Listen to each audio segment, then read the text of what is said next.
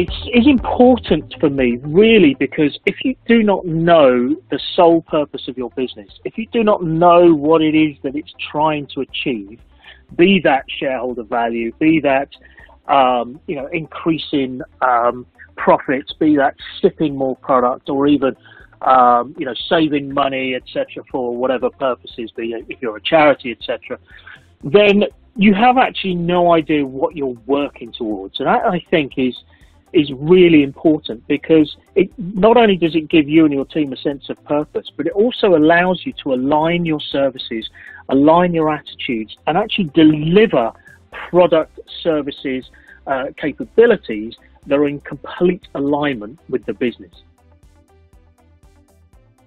You're not doing security just for security's sake because that's one of the most dangerous types of security, I can tell you. That's the type of security that will actually inhibit the way a business does.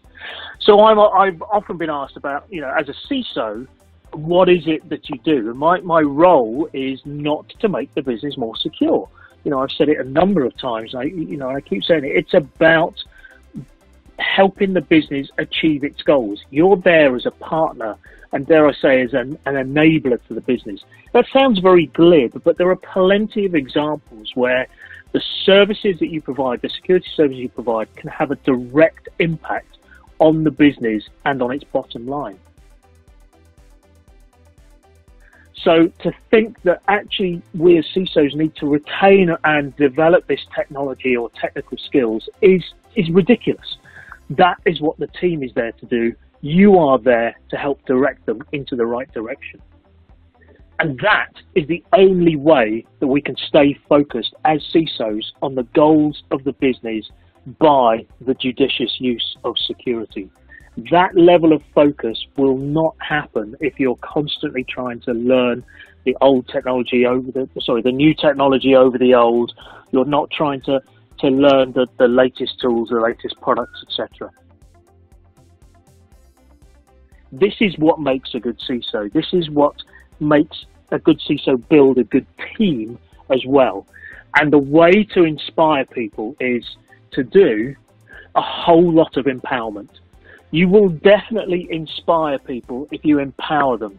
If you give them the ability to have control over their own destiny, to actually be able to influence the way they work, influence the way they learn, and influence the way that they can actually benefit the company as a whole. Empowerment is such a strong tool.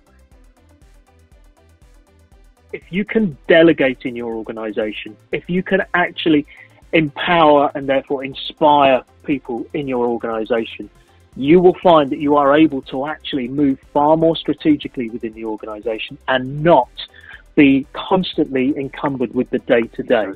Understand what you should not be doing to allow you to focus on the things that you should.